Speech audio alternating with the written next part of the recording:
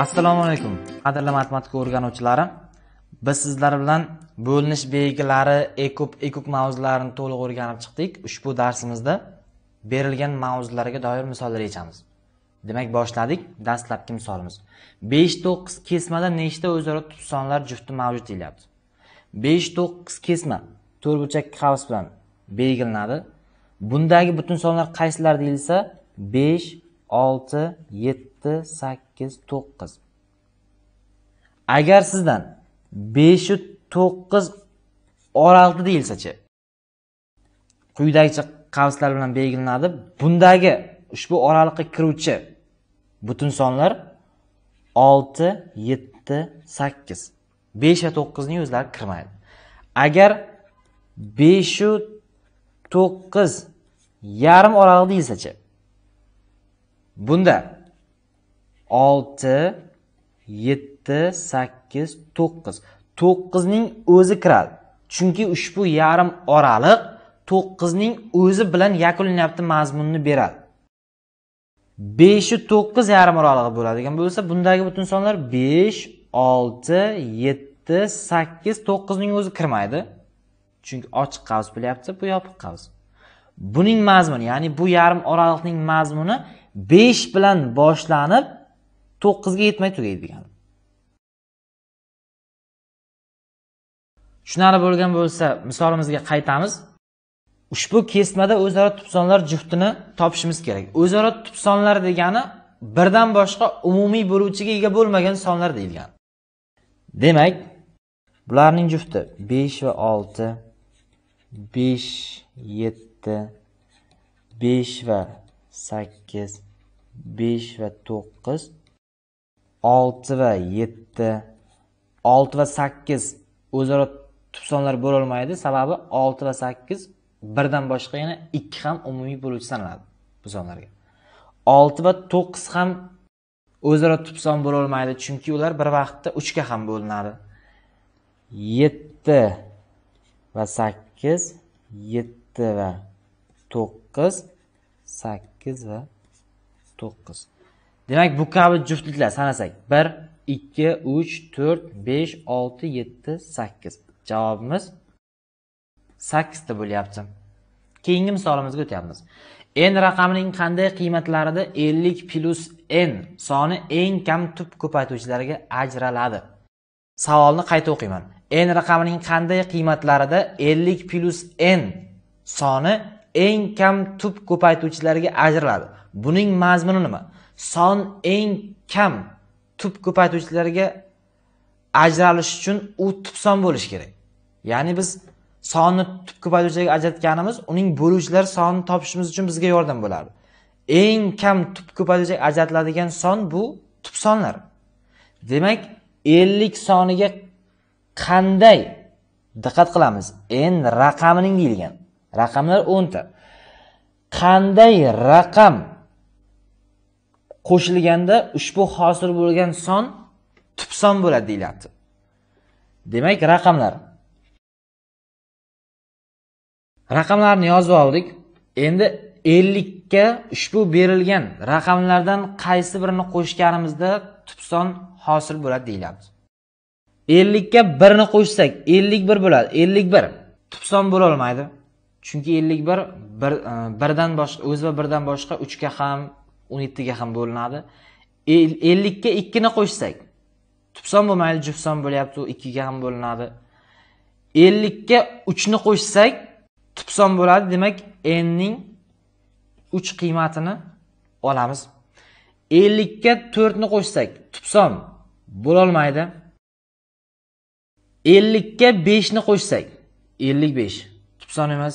Ellikka oltini qo'shsak ellik olti ham tubson emas. Ellikka yettini qo'shsak ellik yetti ham tubson bo'lolmaydi chunki ellik yetti o'zi va birdan boshqa o'n to'qqiz va uchga ham bo'linadi. ellikka sakkizni qo'shsak ham tubson bo'lolmaydi. ellikka to'qqizni qo'shganimizda ellik to'qqiz ellik to'qqiz tubson. Demak nning to'qqizga teng qiymatini ham olishimiz mumkin ekan. N raqamining qanday qiymatlari deyilyapti bizda javobda uch va to'qqiz bo'ladi. Ya'ni n ning 3 va 9 ga teng bo'lgan qiymatlarida 50 plyus n soni eng kam tub ko'paytiruvchilarga ajriladi ya'ni tub son bo'ladi. Navbatdagi misolimiz dastlabki 30 ta natural sonlar ichida 6 soni bilan o'zaro tub bo'ladigan sonlar nechta? Demak boshladik. 6 va 1 diqqat qilamiz. 1 o'zidan boshqa barcha sonlar bilan o'zaro tub bo'la oladi.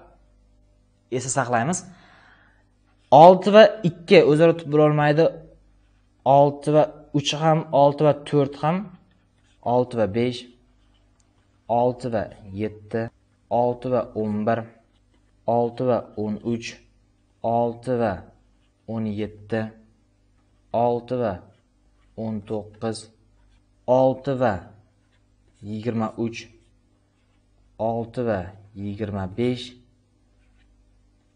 6 va 29 bularni sanasak 10 ta bo'ladi. Ko'pchilik shu kabi misollar kelsa bunda qisqaroq usul yo'qmi desa javobimiz yo'q. Bu kabi misollar berilganda ushbu ko'rinishda aniqlashdan boshqa ilojimiz yo'q bizda. Bularni sanasak 10 ta bo'ladi demak javobimiz 10 ekan.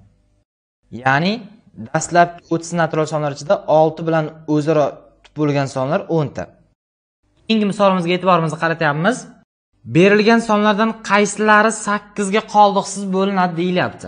8 ga bo'linish qoidasini eslaymiz. Oxirgi 3 ta raqamidan tuzilgan son 8 ga bo'linsa ushbu berilgan son ham 8 ga qoldiqsiz bo'linadi. Diqqat qilamiz. Dastlabki sonda oxirgi 3 ta raqamidan ya'ni oxirgi 3 ta raqamini birlashtirishdan hosil bo'lgan son 144 144 sakkizga qoldiqsiz bo'linadi. Ya'ni o'n sakkiz bo'ladi. P sonimiz sakkizga qoldiqsiz bo'linar ekan.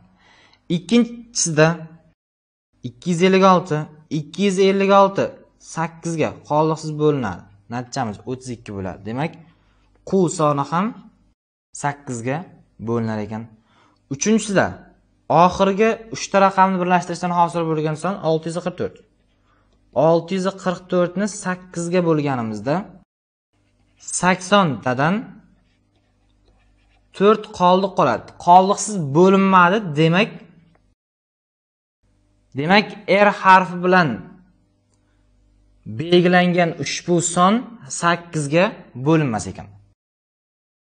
Navbatdagi misolimiz abs va sbalar uchxonali sonlar uch xonali sonlar ayirmasi quyidagi sonlardan qaysi biriga bo'linadi deyilyapti diqqat qilamiz. Bizda xona qo'shiluvchilari yig'indisi ko'rinishda ifodalashni o'rganganmiz. Bularni ham ifodalaydigan bo'lsak yuzlar xonasida a kelyapti. Yuz ko'paytirilgan a plyus o'nlar xonasida b o'n ko'paytirilgan b plyus birlar xonasida s. Sning o'zi. Bundan ayiryapmiz ikkinchi sonimizda yuzlar xonasida. S ya'ni yuzta s plus o'nlar xonasida.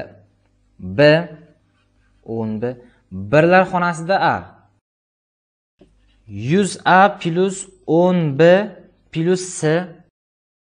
Ikkinchi qavsni ochyapmiz minus yuz s minus o'n b minus a. o'n blar ayrilib ketadi. Yuzta adan ani ayirsak to'qson to'qqiz a s minus yuz s minusda to'qson to'qqiz s. Ushbu berilgan ikkita ifodadan to'qson to'qqizni umumiy ko'paytiruvchi sifatida qavsdan tashqariga chiqaramiz. To'qson to'qqizni chiqarsak a minus s ifodamiz qoladi. Endi berilgan sonlardan qaysi biriga qoldiqsiz bo'linadi deyilyapti. Berilgan ifodamizda ko'paytuvchilardan biri to'qson to'qqiz demak ushbu berilgan sonlardan to'qson to'qqizga ifodamiz bo'linar ekan qoldiqsiz. Navbatdagi misolimiz berilgan yetti xonali son uchga qoldiqsiz bo'linsa x ning eng kichik qiymatini aniqlang deyilyapti uchga bo'linish xossasini eslab o'tamiz raqamlar yig'indisi uchga bo'lingan son uchga qoldiqsiz bo'linadi degandik. Raqamlar yig'indisini hisoblaymiz. Uch olti x sakkiz to'rt yetti va yana x. Sonli qo'shuvchilarni hisoblaydigan bo'lsak 28 ikkita x mavjud 2 x ning shunday qiymatini topishimiz kerakki ushbu yig'indimiz 3 ga bo'linadigan son bo'lishi kerak. X ning o'rniga 1 ni qo'yganimizda 28 plyus 2 ko'paytirilgan 1 30 30 3 ga bo'linadi. Demak x ning eng kichik qiymati 1 ga teng ekan. Demak x ning eng kichik qiymati 1 ga teng bo'lar ekan. Keyingi misolimiz 24 sonining barcha natural bo'luvchilari yig'indisi va natural bo'luvchilari soni ko'paytmasini aniqlashimiz kerak. Dastlab 24 sonini tub ko'paytuvchilarga ajratamiz. Tub ko'paytuvchilarga ajratganimizda 2 ning kubi ko'paytirilgan. 3 ga keladi. Endi natural bo'luvchilari yig'indisini topishni barchamiz bilamiz. 2 darajasida. 3 plyus 1 minus 1 2 minus 1 ko'paytiryapmiz. 3 darajasida 1 plyus 1 minus 1 3 minus 1 hisoblayapmiz. 2 ning 4 darajasi 16 minus 1 taqsim 1 ko'paytirilgan. 3 ning kvadrati. 9 9 dan 1 ni mahrajda 3 dan 1 ni ayirsak 2 15 ko'paytirilgan. 4 bo'ladi natijamiz. 60 ga teng. Demak 24 sonining natural bo'luvchilari yig'indisi 60 ga teng ekan. Natural bo'luvchilari sonini topamiz. Natural bo'luvchilari soni. Darajalariga 1 ni qo'shib ko'paytirishimiz kerak. 3 plyus 1 ya'ni birinchi tub ko'paytuvchimizning darajasida 3 bor ikkinchisida 1 bor. 1 plyus 1 bularning ko'paytmasi. 8 bo'ladi. Endi natural bo'luvchilar yig'indisi natural bo'luvchilar sonini topdik. Ularning ko'paytmasini topishimiz kerak edi. Ya'ni natural bo'luvchilar yig'indisi va natural bo'luvchilari sonlarining ko'paytmasi. 60 va 8 ning ko'paytmasini hisoblashimiz kerak. Natijamiz 480 ga teng bo'ladi. Keyingi misolimiz. 72 va 96 sonlarining ekukining ekubiga e kubiga nisbatini topishimiz kerak. Buni dastlab berilgan 72 va 96 ni tub ko'paytuvchiga ajratishimiz kerak. Berilgan sonlarni kanonik ko'rinishga keltirganimizda 72 2 ning kubi ko'paytirilgan 3 ning 96 esa 2 ning 5-si ko'paytirilgan 3 ko'rinishi keladi. Bularning dastlab e kukini topishimiz kerak. e kuki mavjud ko'paytuvchilarning darajasi kattasi va mavjud bo'lmaganlarni ham olinish kerak 2 ikkalasida ham mavjud darajasi kattasi olinish kerak ikkining beshinchisi uch ikkalasida ham mavjud 3 ning kvadrati olinadi o'ttiz ikki ko'paytirilgan to'qqiz natijamiz ikki yuz sakson sakkizga teng. Biz e kubni aniqladik. Endi e kubni aniqlayapmiz. E kub mavjud ko'paytuvchilardan faqatgina mavjudlaridan. Darajasi kichkinasi ya'ni 2 ning kubi ko'paytirilgan 3 ni olamiz. 8 ko'paytirilgan 3 natijamiz 24 to'rtga teng. Endi e kub va e kubning nisbatini topishimiz kerak. Ya'ni e kubni e kubga bo'lishimiz kerak